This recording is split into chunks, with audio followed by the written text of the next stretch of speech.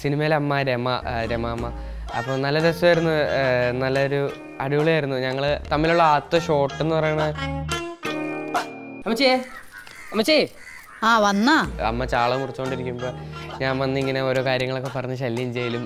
മേശപ്പുറത്ത് ഗ്ലാസ്സിൽ ചായ അവലിരിപ്പുണ്ട് വേണമെങ്കിൽ എടുത്ത് അമ്മയ്ക്ക് ദേഷ്യമാവണയൊക്കെയാണ് കാണിക്കുന്നത്. അമ്മച്ചിക്കേ എനിക്ക് വലിയൊരു ഗ്ലാസ് പാലോപിക്കാൻ പറ്റൂ? എന്റെ ജയ്സ എനിക്ക് ദേഷ്യം വേണ്ടിട്ടാ അപ്പുറത്തേക്ക് പോയേ കത്തിയാണ് എന്റെ കയ്യിലിങ്ങനെ വരയും ഞാൻ.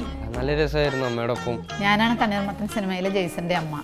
എന്റെ പേര് രമാദേവി. മൂത്ത മോനാണെങ്കിൽ ജോലിക്കും പോവില്ല. വെറുതെ സിനിമ ടി വിയും കണ്ട് ഒരേ ഇരിപ്പാണ്.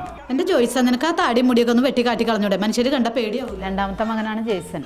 അവനാണ് ഈ കാട്ടിക്കൂട്ടിയതെല്ലാം. ഞാൻ പറഞ്ഞത് എന്റെ സിനിമയിലെ അമ്മേനെ പറ്റിയാണ്. ഇതാണ് എന്റെ ശരിക്കുള്ള അമ്മയും അച്ഛനും. ഞാനാണ് മാത്യുവിന്റെ അമ്മ. ഇത് മാത്യുവിന്റെ അപ്പ ബിജു ജോൺ. മാത്യു ആക്സിഡന്റലായിട്ടാണ് സിനിമയിൽ വന്നത്. ആദ്യത്തെ സിനിമ കുമ്പളങ്ങി നൈറ്റ്സ് ആയിരുന്നു. അത് കഴിഞ്ഞ ശേഷമാണ് തണ്ണീർമത്തൻ ആ, മാത്യുവിന്റെ ഒരു ക്യാരക്ടറെ പറ്റി പറഞ്ഞാൽ മാത്യു കുമ്പളങ്ങി നൈറ്റ്സിലെ ഫ്രാങ്കിക്കും തണ്ണീർമത്തൻ സിനിമയിലെ ജെയ്സിനും ഇടയിലുള്ള ഒരു ക്യാരക്ടർ വളരെ മിതമായിട്ട് പെരുമാറുന്ന ഒരു കുട്ടിയായിട്ടാണ് നമ്മ വീട്ടിലും സ്കൂളിലും ഒക്കെ മാത്യു ബിഹേവ് ചെയ്യാറുള്ളത്. Badum,